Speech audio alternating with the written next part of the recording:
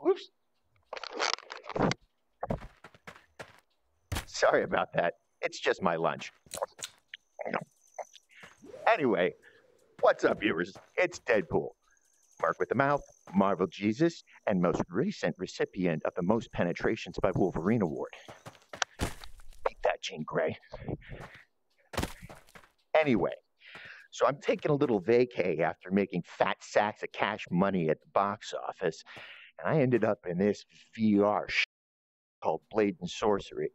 However, the locals were really excited to see me. They were all like, ah, demon, demon, and threw me in this pit. So we're going to see how that pans out.